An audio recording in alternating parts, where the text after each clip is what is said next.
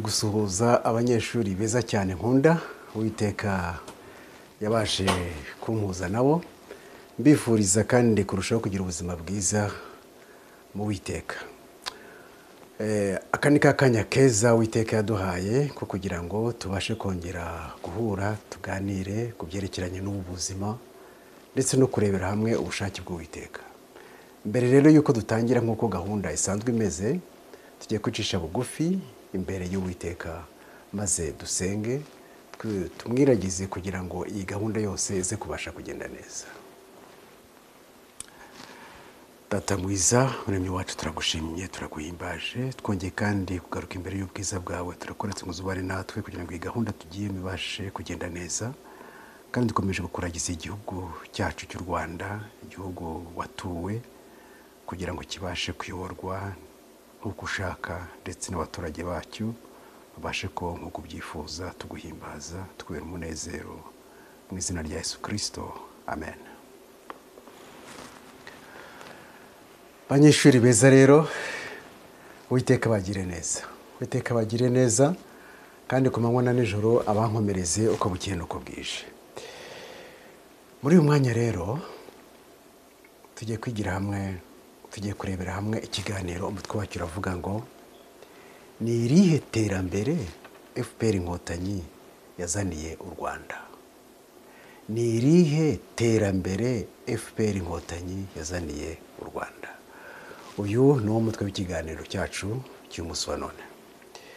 Nkararikira abanyarwanda bose abo mu gihugu no hanze y'igihugu kugira ngo iki kiganiro tubashe kugikurikira kandi tukibonemo isomo ribasha kutugirira akamaro mu mateka y'u rwanda no mu buzima bwacu.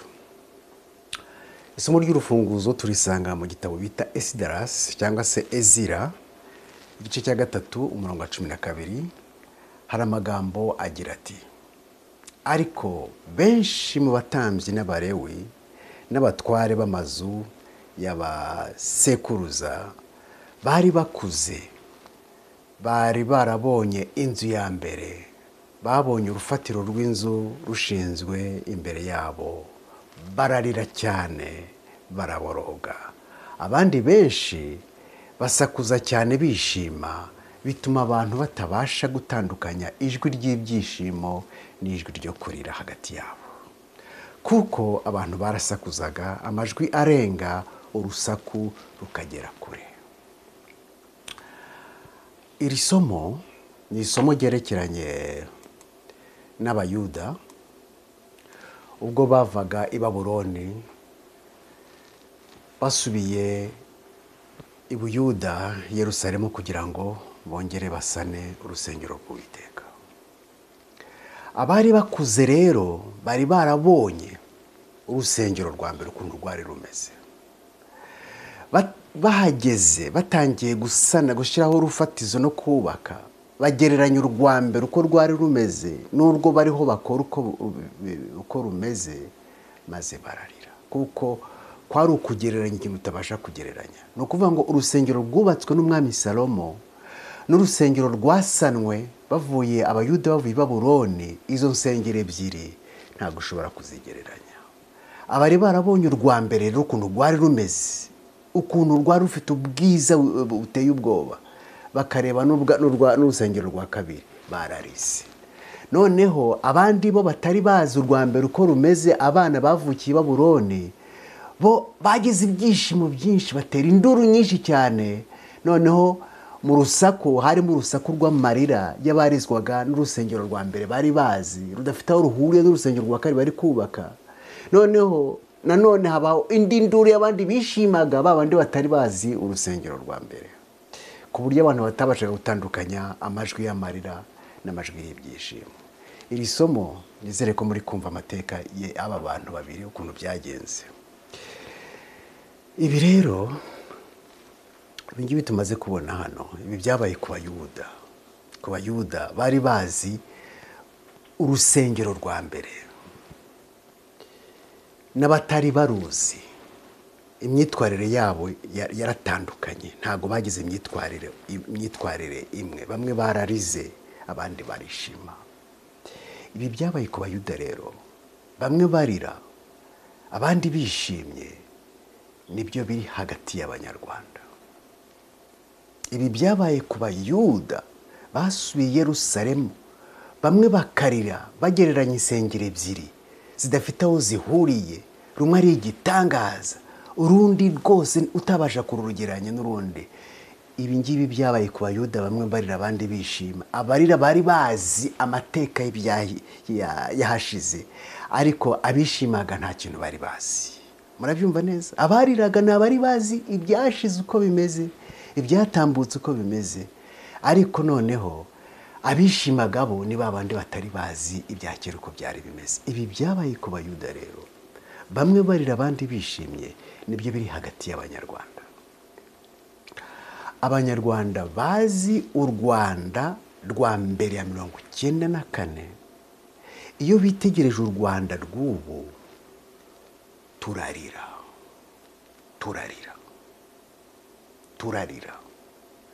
Naho abakiri bato batazi u rwanda rwa mbere ya mirongo icyenda na kane uko rwari rumeze- batera induru y'ibyishimo bata u rwanda ni singapuru y'afurika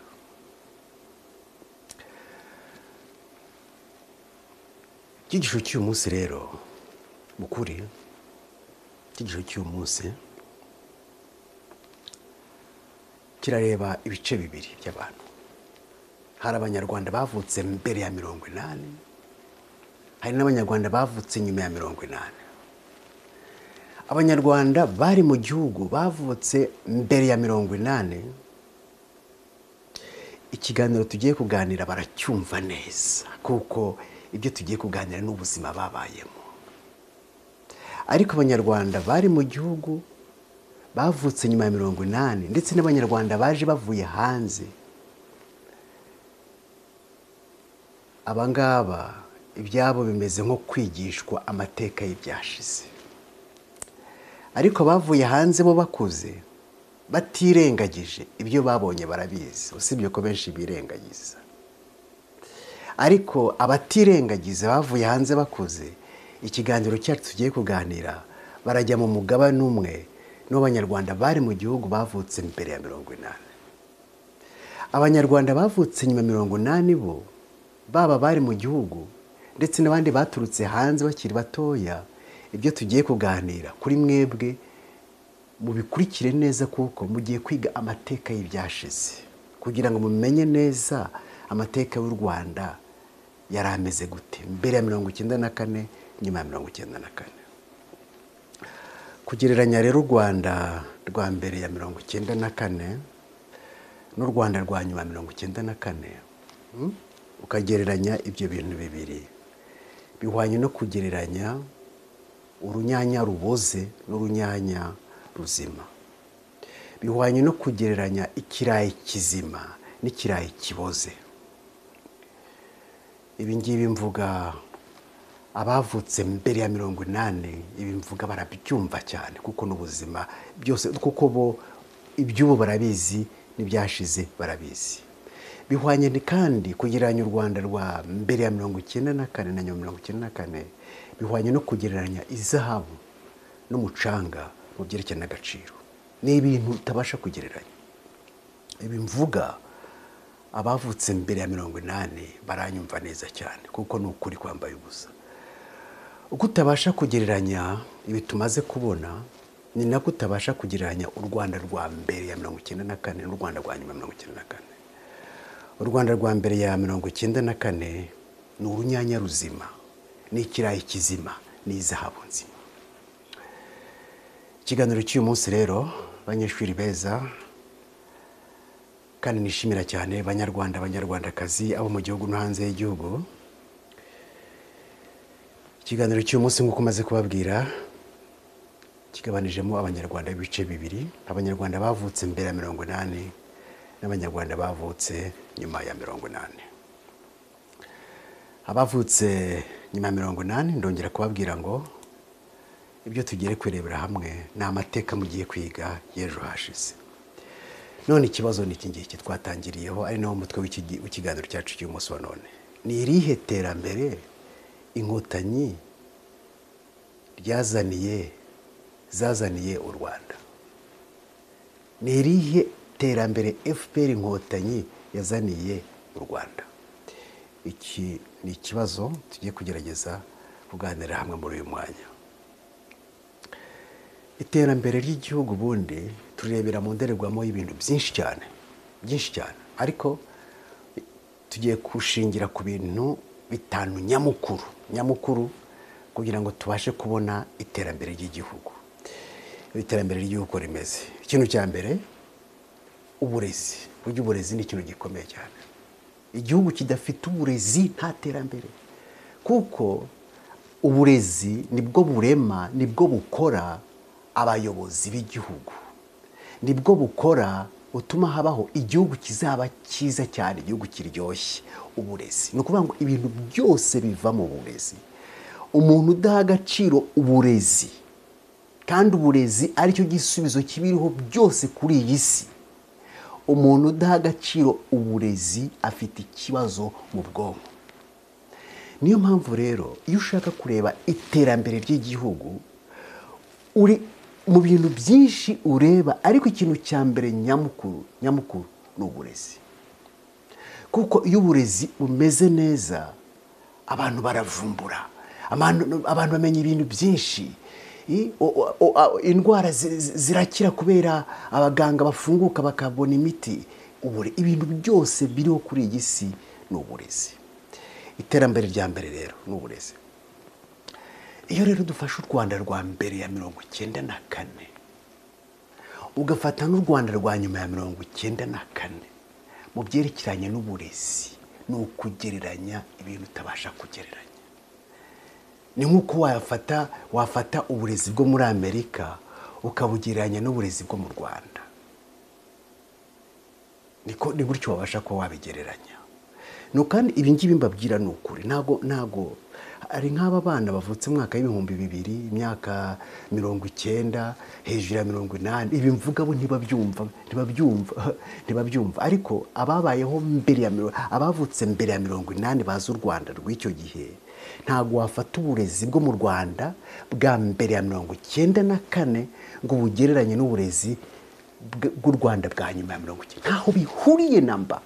Uburezi bwo mu rwanda bwarapfuye burapfapfana ku buryo abo uwiteka yatoreye kuyobora igihugu mu minsi iri imbere bafite akazi gakomeye kugira ngo babashe kuzanzama uburezi babashe kongera gufata intera byibuze nk'iyo bwari bufite mbere ya mirongo icyenda na kane. Ariko uwiteka azabidushoboze. Ikiro mbabwira ku byerekeranye n'uburezi. Ubumenyi uburezi mu mashuri ntabwo wagereranya u rwanda rwa mbere ya mirongo icyenda na kane n'u rwanda rwa nyuma ya mirongo icyenda na kane. Biratandukanye. Fpr inkotanyi yishe uburezi neza neza neza neza neza byararangiye. Uburezi bwacu bwarapfuye neza. Abana bacu uwiteka tugire neza dutabare kuko ntabwo twazakomeza burya. Ibi ngibi mvuga rero. Abanyarwanda bavutse mbere ya mirongo inani murabyumva neza. Ntabwo nirirwa mvunika. Ku byerekeranye n'uburezi rero ntabwo wagereranya u rwanda rwa mbere ya mirongo icyenda na kane n'u rwanda rwa nyuma ya mirongo icyenda na kane. Ntabwo bishoboka. Hari n'ibimenyetso bibereka ko bariya bantu baje kwica byose. Urumva? Ni gute wavuga ngo umwarimu utarigeze yiga yiga amasomo ye mu rurimi rw'i- rw'icyongereza kuva muri muri primaire kugeza muri universite umunsi umwe ngugisha mu cyongereza ubu bakaba bari kwigisha mu cyongereza. Nta mavidewo mujya mukurikira kuri youtube. Abarimu bari kwigisha n'abanyeshuri ibyo bavuga. Ntabwo mujya mubibona. Hmm? muze kujya kuri youtube. Ntabwo uyu munsi mbibashyiriramo ariko mugende mure. Ni ukuvuga ngo uburezi bwarapfapfaye bwira umuntu wize muri sisiteme francophone umunsi umwe ngugisha mu cyongereza. Ibyo bintu byabayeho? Nta hantu byabayeho. Murabyumva? Hari abantu bazana ibitekerezo bya kinyamaswa. Ibitekerezo by'abanyamusozi. Ibitekerezo by'abantu badafungutse. Bakangiza igihugu. Urumva biriya nta hantu biba. Nta hantu biba. Ubundi guhindura ururimi ni ibintu ugomba gukora mu gihe kirekire cyane. Ntabwo ushobora guhindura ururimi mu gihe ako kanya buritarema ntabwo bibaho. Ariko burya umuntu atanga icyo afite. Ni ukuvuga ngo bariya bantu ibyo bakorera abanyarwanda ni ibyo bafite. Nta kindi bashobora kuduha batagira ni icyo umuntu atanga icyo afite. Niyo mpamvu iyo mubona bica nta kindi bafite ni ukumena amaraso. Iyo mubona bakora ibizira nta kindi n'ibyo bafite. Hano rero ku bantu bazi u rwanda rwa mbere mirongo icyenda na kane ntabwo wabasha kugereranya u rwanda rwa mbere mirongo icyenda na kane na nyuma ya mirongo icyenda na kane mu byerekeranye n'uburezi ni ukugereranya ibintu bidahuye. Eh, reka nze mbaho urugero. Ubu muri iki gihe mwambwira muti dore amashuri nyuma ya mirongo icyenda muti dore amashuri ababyeyi bashinze. Amashuri yose ari mu rwanda. Hari za pase hari za pakope hari za esapage hari za perwa hari za sipesika hari za esapamu hari za mugonero hari za esipanya hari za sezika hari iki hari iki hari iki. Ariya mashuri y'ababyeyi yose mubona mu gihugu yose yose. Ni amashuri yabayeho mbere ya mirongo icyenda na kane. Ubu se wasobanura gute ukuntu nyuma mirongo icyenda na kane utabasha kubona ababyeyi bishyira hamwe ngo bari kubaka ngo bari kubaka amashuri? Ibi ngibi mbabwira ni ukuri. Mugende mugende hari ibintu bimwe abantu batagerageza gutekerezaho bakabinyura hejuru. Ariko mu bitekerezo murebe. Mumbwire muvuge muti dore amashuri ababyeyi bashinze nyuma ya mirongo icyenda na kane. Amashuri yose ari mu rwanda amashuri purive amashuri y'ababyeyi yose yashinzwe mbere ya mirongo icyenda na kane. Ahubwo ubu ngubu ari kwangizwa gute se? Mugende murebe ukuntu amashuri ari kwangizwa. Icyo inkotanyi zikora ni ugufunga amashuri. Ubundi- birababaje. Ubundi umubyeyi iyo abona umwana ari gukora ari kugerageza gukora eforo yo kugira ngo akore ikintu cy'iterambere umubyeyi we amutera inkunga. Niko bigenda. Niba uri kubona nk'ababyeyi bishyize hamwe bakubaka ishuri leta ikintu. Ni ukuvuga ngo ubundi leta yagombye gukora sensibilisation ibwira abaturage mwishyira hamwe mukore ibikorwa bya kijyambere mugire gute. Abaturage bakishyira hamwe noneho leta aho iri kubona bafite imbaraga nkeya yo ikaza ikabongerera ingufu ikabongerera kuraje murambwira ngo niko bimeze kuri fpr inkotanyi? Niko bimeze? Ibyo ngibyo murabizi. Hano hari reka mbaye nk'urugero rufatika. Ha- hari umugabo witwa gerard. Gerard irindi zina ntabwo ndizi uriya ufite ishuri rikomeye hari iryitwa esapage eh, afite na universite ariya mashuri ariya mashuri esapage. Biriya byatangiye mbere byatangiye mbere ya mirongo icyenda na kane. Ariko murebe igikorwa yakoze murebe n'ibyo fpr iri kumwitura. Aho kugira ngo umuntu nk'uriya bagende bamutera inkunga bati wakoze ibikorwa ariko amashyari yamazwe na fpr inkotanyi. Ngo uyu nguyu ntabwo agomba gutera imbere ngo ibikorwa bye ngo umu- umuntu arikorera umushinga yamara kuwugeza imbere bakaza bakawumwaka bakawutwara. Ishyari. Ese ndi kuvuga ntimubizi? Eh? njye ntabwo njya mvuga ibinyoma. Murabyumva? Eh, uriya nuza uriya wari minisitiri w'intebe habumuremyi damiye ntiyari yashinze ishuri hariya. Aho kugira ngo bamutere inkunga bagize amashyari ngo aradukiranye. Baramufashe baramufunga?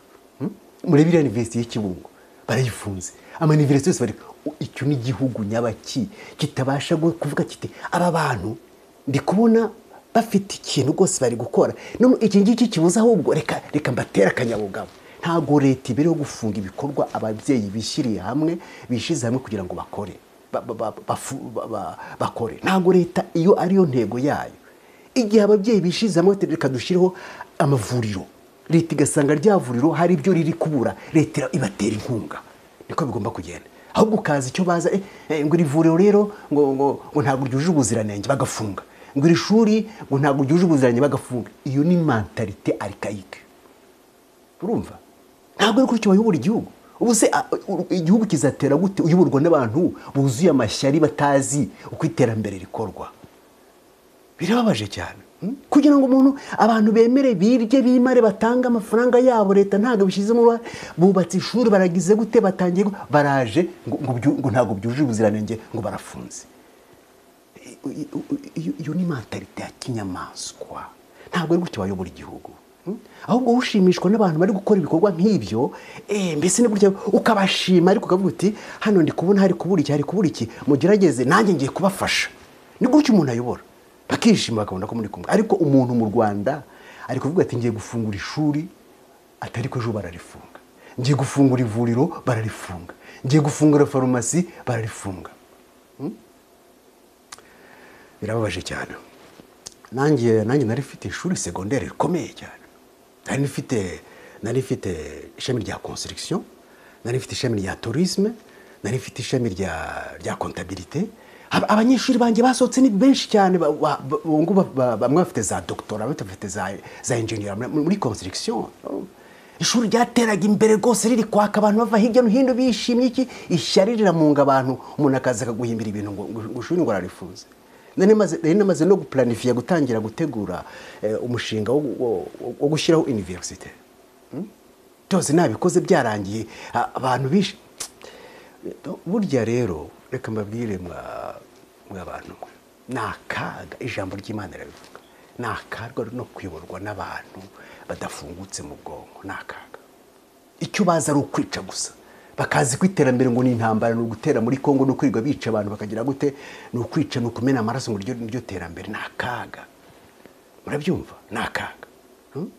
Aho kugira ngo umuntu ashimishwe n'abantu bari guhirimbanira gutera imbere ari gushimishwa no kugira ngo yamazwe n'amashyari ngo biriya ngo abantu ngo baranyuranye akaza agafunga Hmm? abacuruzi bangahe? Ubu ngubu batabasha gucuruza mu buryo bwo eh, bisanzuye. Ngo kereka batanze imis- imisanzu y'imirengera ya fpr birababaje cyane. Uwiteka dutabare. Uwiteka dutabare birababaje cyane. Birababaje cyane. Hmm? Hano rero hano mu kuri ibyerekeranye n'uburezi mu gihugu cyacu bwarapfapfanye bwarapfapfanye neza neza neza aho uburezi buhagaze iyo inkotanyi zitaza gufata igihugu ku ngufu ngo zigitobatoba ubu ngubu ibintu bikaba bimeze nk'uko byari bimeze mbere ya mirongo icyenda na kane mbabwije ukuri ko uburezi ubu ngubu aho buba bugeze aba ari igitangaza. Aba ari igitangaza. Reka nze mbaho urugero. Reka nanone mbahe akandi kantu akandi kantu mutekerezaho. Muzi ko mbere ya mirongo icyenda na kane. Mu rwanda twari dufite iniverisite interinasiyonale mwari mubizi? Abantu bo muri france bavagaho bakaza bakayigamo. Za madagascar ku isi yose hose hose n'abamerika barazaga bakigamo. Abana b'abanyamerika bigaga hariya muri universite y'abadivantisiti mudende. Buriya buriya iyi universite y'abadivantisiti mubona hariya hariya i kigali bahita ngo iki? Bahita ahangaha yimukiye ni izina rya ntabwo ryibutse neza. Hariya yimukiye ni ukuvuga ngo iriya ntayihuriye n'univerisite y'abadivantisite yari mudende mbere ya mirongo icyenda na kane. Abahize muri mirongo icyenda na kane ibyo mvuga barabizi. Ntaho bihuriye. Yari iniverisite interinasiyonale abantu bo ku isi yose ntabwo ari abanyafurika gusa bazaga. Murabyumva? None- mbwira ubu ngubu dufite iniverisite interinasiyonale mu rwanda. Hmm? iriya iniverisite ya mudende bari baratangiye mbere y'intambara gufata za metirize za dogitara zari zitangiye kuza. Hmm? ariko byose inkotanyi zije zishyira hasi. Zishyira hasi. Ubuze wambwira birababaje cyane birababaje birababaje. Kandi kubwira umuntu utumva nk'ibi ngibi mba mvuga eh, bitewe n'uko bo ibyo bafite ni ukwica kwirirwa bari gukora amarozi. Ibyo byo barabishobora gukora amarozi mugende mushyire kanaka. Eh, uriya mugomba kujya kumufata gutya n'ibyo barara batekereza mugomba kumwica gutya. Ubwo ni bwo bumenyi bwabo ubumenyi bw'ubugoryi. Hmm? birababaje cyane. Biteye agahinda ariko uwiteka ni mwiza abashe kutugirira neza. Ntabwo rero wabasha kugereranya uburezi bw'u rwanda mbere ya mirongo icyenda na kane na nyuma ya mirongo icyenda na kane. Ntabwo bishoboka. Ntabwo bishoboka. Ntabwo bishoboka. Byibu- byibuze muzanarebe n'abantu bize mbere ya mirongo icyenda na kane. Mufate n'abari gusohoka ubu ngubu barangiriza aniverisite za butare nyuma ya mirongo icyenda. Murebe n'ubumenyi bwabo uko bumeze. Hmm? kugira ngo mwumve ibyo mbabwira uko bimeze. Murebe n'ubumenyi bwabo mubashyire kuri mubahe ikizamini mu- mure- murebe uko bimeze? Ibyo bizabereka ibyo ndi kubabwira uriya muntu aravuga ukuri cyangwa arabeshya? Ibi mbabwira ni ukuri. Ni ukuri kwambaye ubusa Hmm? ni ukuri kwambaye ubusa.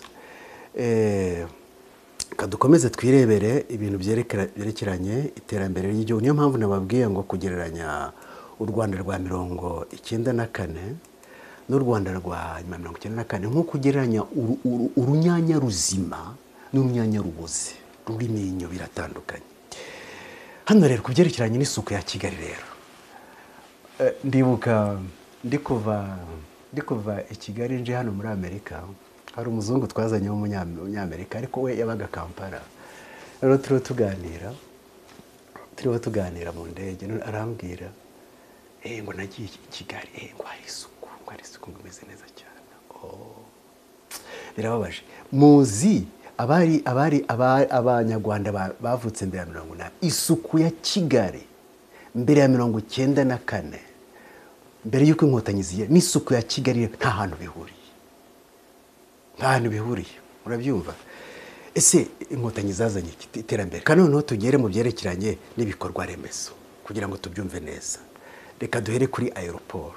Aeroporo abantu benshi bazi ngo aeroporo y'i kanombe ngo ni bariya abantu bayizanye. Ibikorwa remezo aeroporo. Hmm? Aeroporo yo mu bugesera nabwo kuyubaka byabananiye. Hmm? aeroporo ya kamembe yo yabaye ibyatsi. Nta nubwo ikinavugwa. Murabyumva? Aba bantu bigeze bizana ae- aeroporo. Ikibuga cy'indege? Icyo bazanye ni ikihe? Hmm? aba bantu bigeze bubaka imihanda ya kaburimbo? Iyi mihanda ya kaburimbo yose muri kubona hariya biriya byari bihari imbere ya mirongo icyenda na kane. Ni ibikorwa byakozwe na Gregoire Kwayibanda nta Byarimana Urumva? hari umuntu araza byose arabyitira ngo byose ninjye wabyubatse. Hmm? mubaze abantu bayo mu Rwanda mbere ya mirongo imihanda aba bantu bigeze bazana imihanda. Hari imihanda bigeze bubaka. Icyo bakora ko ari ukwiga basenya gusa imihanda ya kaburimbo yari ihari. Reka dufate amavuriro. Iriya rwa Faisal iriya iriya yari ikomeye ntiyari ihari imbere y'intambara. Ubu ngubu ntibayi- ntibayishe ntiyapfapfanye. Siyashika ntiyari ihari imbere y'intambara. Icyo baba ivuriro mwavuga rikomeye riri mu rwanda bariya abantu bazanye n'iriya. Ku buryo tuvuga ngo "Eh, ngo ngo bazanye ibikorwa bi- icyo bazanye ni ikihe Hmm? iterambere bazanye mu byerekeranye n'ibikorwa remezo. Hmm? rwa Faisal yari ihari ikora neza. Aho bahagereye ubu yarapfuye yarapfapfanye. Sinzi sin- sinzi n'ibindi bintu. Niba barayigurije baragize gute. Siyashika murabyumva. Ni irihe vuriro wambwira rya leta ubu wavuga ngo iri ni ivuriro rikomeye tutari dufite imbere y'intambara? Hmm? umujyi wa Ki- hariho n'abavuga ngo umujyi wa kigali ngo nibo bawuzanye. Hari ibintu bimwe hari ibintu bimwe rwose wumva abantu ugasanga bi- bi- birababaje cyane. Eh? Eh, hano ari byo nabwira by'isuku rero ya kigali by'umunyamerika twaganiraga hano. Ati kigali muzare isuku ya kigali mbere y'intambara nta naho bihuriye. Murabyumva? Televiziyo y'u rwanda. Hmm? Iriya televiziyo yari ihari radiyo y'u rwanda yari ihari. Murabyumva stade Amahoro- aba bantu hari stade bigeze bubaka? Hmm? hari tuvuga ngo bubatse stade. Hmm? iriya stade iriya stade amahoro yari ihari imbere y'intambara. Ubu bambwira ngo bazanye? Stade ya gitarama banza bara- baranayishenye ngira ngo stade ya, ya, ya, ya musanze ya ruhengeri. Stade wavuga ngo bariya abantu bubatse ni iyihe? Ejo bundi yubatse kariya kantu ka kanuza ka iriya nzu ngo eh, ya nzu yubatse ejo bundi. Ariko arimo avugira imbere y'abana. Eh ngo wayikora hano ngo ngo nakwica. Avuga ijambo ngo nakwica. Hmm? ngo nakwica ari kariya konyine ubu se amazu angana iki? Yari i kigali n'ubu ngubu agihari imbere y'intambara ibitangaza akomeye. Hmm? ahubwo reka mbabwire. Buriya mutekereze aho ibikorwa remezo biba bigeze uyu munsi wa none. Iyo inkotanyi zitaza kwangiza igihugu. Iyi nkota mutekereze aho uburezi bw'u rwanda buba bugeze uyu munsi wa none iyo inkotanyi zitaza kwangiza igihugu. Mutekereze ibikorwa remezo aho biba bigeze iyo inkotanyi zitaza kwangiza igihugu. None se tuvuge amazi se? Hmm? amazi. Amazi inkotanyi kuva zagera mu gihugu mwigeze mubona zishyiraho bya bimashini by'ibiki byose hariya muzagende mugende hariya za za karenge n'ahandi na za kimisaga n'ibiki nk'ibyo biriya bikorwa by'amazi biriya bimashini bizamura amazi ntibyari bihari imbere y'ina ahubwo babyishe babaga- ko babyishe bikagera. Birababaje cyane birababaje cyane birababaje cyane kugira ngo umuntu aze nta kintu akoze mu gihugu namba ibyo ahasanze byose arabyitiriye. Birababaje cyane birababaje cyane ahubwo ibintu byose akabi akabihindura imfabusa Mm? reka twegerere ku kindi ubukungu ubukungu bw'igihugu. Hano rero cya gatatu cyerekeranye n'iterambere kiranga iterambere ubukungu. Ubukungu ubukungu. Ubukungu ibyatumaga ubukungu bw'u rwanda butera imbere bukomera babikuyeho. Ikawa bayikuye ibihingwa ngengabukungu babikuyeho ibiti bakuyeho. Ibihingwa ngandurarugo bakuyeho. Murabyumva neza? Ibihingwa byatumaga ubukungu rwanda buhagarara neza. Urasanga abaturage bo mu rwanda barwaye bwaki?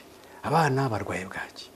Ni ikibazo gikomeye cyane. Agaciro k'ifaranga ubu karaguye. Mbere ya mirongo inani n'icyenda nagiye kuvunjisha idolari rimwe nishyura amadolari mirongo irindwi. Ubu ngubu idolari rimwe amadolari igihumbi. Birababaje cyane.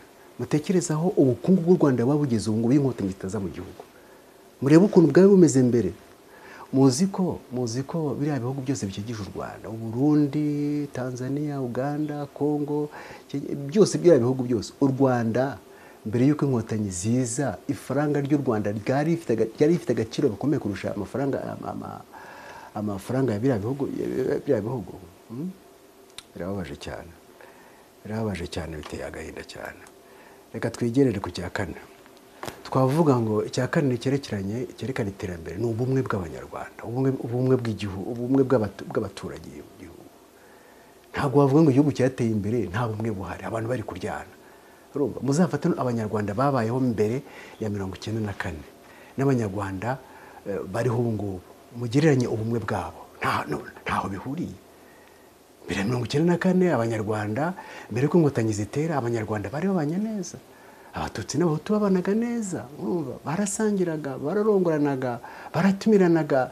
Eh, twari bamwe mm? twari bamwe. Ntabwo nshatse kuvuga ko ibintu byari marayika? Ariko ntabwo wagereranya u rwanda rwa mbere mirongo icyenda na kane n'u rwanda rwa nyuma mirongo icyenda biratandukanye kure cyane. Eh, naho ubu ngubu rero hari no mu gushaka akazi. Ngo kereka ari uyu nguyu n'uyu eh, birababaje cyane. Ubumwe ntabwo ubumwe ntabwo. Biraje cyane kandi biteye agahinda biteye agahinda cyane biteye agahinda. Ku byerekeranye n'amahoro. Amahoro mbere y'uko inkotanyi zi- zigera hariya zi- zigera mu rwanda n'amahoro yari mu rwanda mbere y'uko zihagera biratandukanye habyarimana yaravuze ati petero yacu ni amahoro. Kandi ko niko byari bimeze? Hmm? niko byari bimeze? Hano uvuga ukuri bakakwica. Hmm?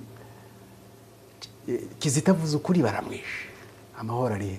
Idamange avuze ukuri barafunze. Amahoro ari he? Niyo mugabo avuze ukuri barishe amahoro. Ah, karasira avuze ukuri barafunze. Rashida avuze ukuri barafunze. Christopher avuze ukuri barafunze. Ibiki byose abanyakuri bose ni abantu badakunda ukuri. Reze wambwira ngo ufite amahoro udakunda ukuri Hmm? abantu bavuga ukuri urabica Hmm? Hmm? Ukareka abanyabinyoma gusa. Abavuga ibinyoma nibo bafite icyicaro birabaje cyane. Umuturage ntashobora kuganira na mugenzi we. Ni urwikekwe ko ru- ruhare. Ubu amahoro ariho ubumwe buri hehe Hmm?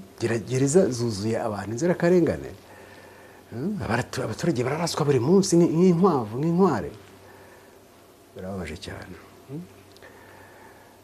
Umuturage arihi- arihingira arahinga imirima ye. Arahinga ari guhinga uri kureba agatera uri kureba akabagara kureba. Wabone igihingwa ki- kimaze gushisha kugira ngo umubabazi ukaza ukarandura. Hmm? gusa ubumwe buriho amahoro ari hehe? Umuntu atanga icyo afite ibyo ni byo mufite nta bindi mufite. Nta kindi mwaha abanyarwanda usibye ibyo ngibyo. Urumva ubuzima bw'abanyarwanda muri make burakakaye. Burakakaye cyane burakakaye cyane. Nta mahoro ari mu rwanda ntayo. Niyo mpamvu uwiteka agiye gutabara abanyarwanda. Mutekereze aho u rwanda ruba rugeze ubu ngubu. Iyo inkotanyi zidakandagira mu rwanda. Ruba rugeze kure. Ubu u rwanda rutangiye gukabakaba bimwe mu bihugu bikenye byo muri erope urabyumva? Aho tuba tugeze. Uzarebe abakongomani barigaga ari kwiga avuga ati ndarangiza bigire mu rwanda. Niko bakoraga. Kandi bari bameze neza. Urumva? Birababaje. Birababaje iby'iwacu banyarwanda banyarwandakazi. Ibintu byose rero Gregoire Kayibanda yakoze n'ibya Imana Juvenal yakoze byose byitiriwe Paul Kagame. Stade Amahoro ni Paul Kagame ayubatse. Aeroport y'i Kanombe ni Paul Kagame ayubatse. Imihanda ya kaburimbo ni Paul Kagame ayubatse. Umujyi wa Kigali ni Paul Kagame awushizeho. Yazanye birababaje. Kubera kutamenya amateka. Barabyumva kubera kutamenya amateka birababaje cyane. Iterambere ry'inkotanyi zazaniye abanyarwanda. Ni ubwicanyi butaba mu bindi bihugu. Iryo ni ryo terambere rya mbere. Ubwicanyi abanyarwanda bafite ubwicanyi udashobora gusanga mu bindi bihugu. Iryo ni ryo terambere batuzaniye. Urumva? Gereza zuzuyemo inzirakarengane ni ryo terambere batuzaniye. Gusenya ibikorwa remezo by'abaturage gufunga amashuri kugira ngo amavuriro iki? Umuturage ushatse kwikura mu bukene bagafunga urumva? Eh, ngo ntabwo ari uwacu bagafunga. Ntabwo ari uwacu bagafunga. Ntabwo ari uwacu bagafunga. Eh? iriya iniverisite ya kibungo iniverisite ya habumuremyi amashuri yacu n'ibiki n'ibiki ngo ntabwo ari abacu bagafunga. Nicyo bazi gusa. Mm? Uburezi bwarapfapfanye. Iryo ni terambere batuzaniye. Amacakubiri inkotanyi zazaniye abanyarwanda agahiri n'agahinda. Tugomba rero gushyiraho inzibutso. Tugomba kwibuka inzibutso z'abayobozi bayoboye igihugu cy'u rwanda. Duhereye kuri sharire mutara rudahirwa kuko ibi bihugu byacu nahageze mbona ibikorwa byiza rwose. Bibuka abayobozi b'igihugu ni ibintu byiza cyane. Aba bush ba bajya bafite ibikorwa babibukiraho. Natwe tugomba kubibuka rero. Gregoire Kayibanda tugomba kumwirukira kuri aeroport ya Kanombe. Hariya ari aeroport ya Kanombe rya zina ryariho mbere tugiye kurisubiza? Ejo bundi kuko twasesekaye i Kigali rwose. Kandi inkotanyi impara zayo ngo sibimenye twasesekaye i Kigali. Aeroport ya Kanombe tuzongera dusiho aeroport tuzasubizaho aeroport Gregoire Kayibanda. Ni ihame ridakuka. Gregoire Kayibanda tuzamwibukira kuri aeroport y'i Kanombe. Tuzayitunganya neza tu- tu- tuyigire igitangaza. Habyarimana Juvenal tuzamwibukira kuri stade Amahoro. Iriya stade Amahoro kuko yari umuperezida w'amahoro yari umuperezida w'amahoro. Iriya stade Amahoro tugiye kuyitunganya mu buryo bw'igitangaza no kuyagura tuyagure. Ubundi tuyite stade Amahoro Habyarimana Juvenal. Kuko yari umuperezida w'amahoro. Tu- tuzayibu- tuza- tuzayibukira kuri Habyarimana Juvenal. Tuzayagura tuyigire igitangaza. Tuzayimwana tuza- niko bizagenda kandi. Stade amahoro habyarimana juvenal. Iriya aeroport ya bugesera yabananiye kubaka hasi umuntu aratangira kubaka n'igiko kikamunanira. Hmm? umuntu arirarira kwirara ariko twebwe tugiye kubirangiza. Urumva? Tuzayadura iriya aeroport ya bugesera tugiye kugira aeroport ikomeye cyane ku buryo yanaruta n'iyi kanombe. Ubundi tuzayiterera sharire mutara rudahirwa umwami w'igitangaza wakoze ibikorwa bikomeye cyane. Eh, niko bizabigenda. Noneho mu rwanda ngubu tugiye kubaka otorute otorute ni, imihanda usanga eh, umuhanda umwe ufite nk'ibisate nka bitandatu umunani kugenda no kugaruka. Tuzubaka umuhanda wa otorute uturuka ku, rusumo ukagenda ukagera ku gisenyi. Ibimodokari bya rukururana bizajya bigenda hasi. Undi tuwushyire hejuru mu kirere. Ubumodokari butoya buzajya bugenda hejuru mu kirere. Iriya otorute tugiye kubaka igitangaza igitangaza tuzayiterura umwami kigeri ndahindurwa otorute izava ku rusumo ikagenda igakubita ku gisenyi tuzayiterura umwami kigeri ndahindurwa umuhanda rero wa otorute uzubaka indi otorute izava ku bugande ukagenda ugakubita i kigali ukagenda ugakomeza ukagera ukagera ukagera i burundi tuzayitirira eh, pasite otorute pasiteri bizimungu noneho undi muntu utagomba kwibagirwa rero nawe wagaragaje amateka mazima mu rwanda mbonye umutwe wa dominiko iriya aeroport ya kamembe tuzayitunganya neza neza neza neza tuyivugurure no kuyagura tunayagure tuzayitirira mbonye umutwe wa dominiko Eh, bariya abantu tugomba kubibuka. Tugomba kugira igikorwa tubibukiraho. Na kagame rero tugomba kumwibuka paul kagame. None ngiye kubaha umukoro. Mwese mwese abanyarwanda bose abo mu gihugu n'abari hanze inkotanyi n'abandi batari inkotanyi. Paul kagame tuzamwibukira kuki? Mwandike kuri komantere kuri komantere komantere mwese. Mwandike kuri komantere ikintu tuzibukiraho paul kagame. Noneho tuzarebera hamwe icyo abantu benshi bazahurizaho. Icyo ni cyo tuzamwibukiraho. Ni dovora mbahaye. Ni dovora mbahaye ni homework mbahaye mwese umukoro mugiye gukorera mu rugo. Mugende kuri cana amateka tv rwanda mwandikeho icyo tuzibukiraho paul kagame. Murabyumva? Noneho icyo abantu benshi barahurizaho icyo ni cyo tuzamwibukiraho. Maze rero banyeshuri banyeshuri beza. Banyarwanda banyarwandakazi ndabakunda cyane. Ndabakunda cyane kandi ikiguzi icyo ari cyo cyose uwiteka azasaba ngo u rwanda rwongere kugiramo ituze niteguye kugitanga. Kandi namwe ndabifuriza ko bigenda gutyo. Ikiguzi icyo ari cyo cyose uwiteka yasaba kugira ngo u rwanda rugarukane ituze tugomba kugitanga. Ndabakunda cyane. Dusenge uwiteka rukunda igihugu cy'u rwanda kandi yaracyeguriwe kiriya gikorwa sheri yakoze ntabwo uwiteka akijugunya mu- muri pubere arakizirikana ku manywa na nijoro. Dusenge kugira ngo uwiteka atebutse atebutse agakiza ke.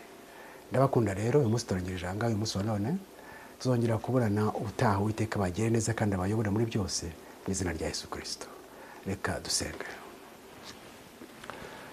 tata mwiza turagushimye iki kiganiro turangije utujya imbere. Kandi abanyarwanda barananiwe bararushye barihebye ariko agakiza kari muri wowe.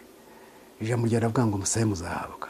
Kandi ukomanga tuzakingurirwa turasabye rero kandi turakomanze uduhe icyo umutima wacu ushaka no gukura ikizira mu rwanda maze abakubaha abakwizera abakwiringira akaba ari bo bafata igihugu mu biganza maze bakaragira umukumbi wa- wawe mu mahoro. Bakawuragira ahantu heza bakawuha amazi y'urubogobogo kandi tubashe kwitegura ubwami bwawe mu izina rya yesu kirisito amen.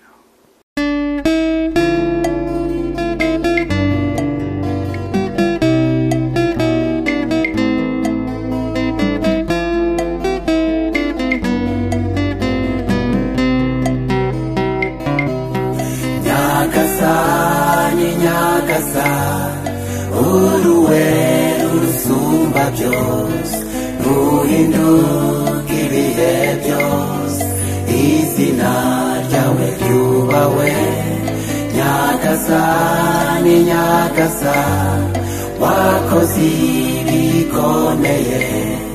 tu risera, turizera, eshadai.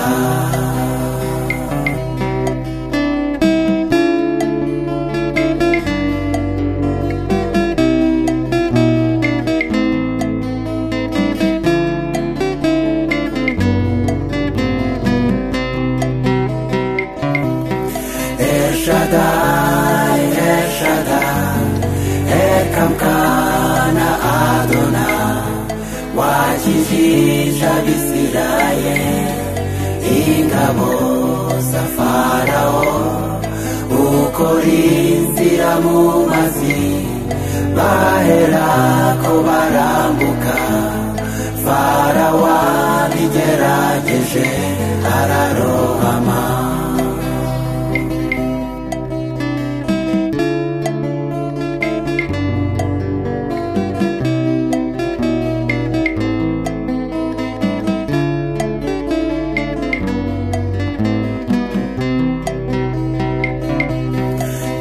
Nyagasani nyagasani wiyereza aburahamu.